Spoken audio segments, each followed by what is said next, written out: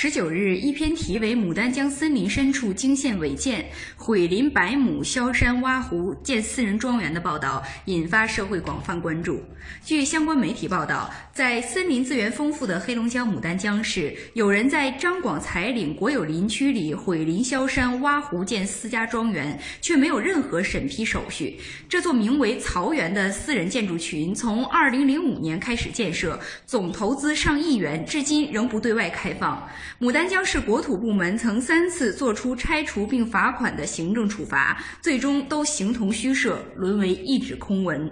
二十日九时许，记者跟随相关调查组一起进入曹园。记者在园内看到亭台楼阁随处可见，高高低低的建筑全部是仿古样式。在园内博物馆中摆放着二十余种野生动植物标本，其中包括猛犸象等一些珍贵化石。据了解，十九日，黑龙江省委书记张庆伟、省长王文涛召开了专题工作会议，部署调查工作。张庆伟批示要求黑龙江省委省政府成立督查组，推动牡丹江市开展调查，责令牡丹江市成立调查组，迅速查明事实真相，认定违法违规事实，严肃处理相关责任人，并及时向社会公布调查结果和处理意见。目前，相关调查工作仍在进行中。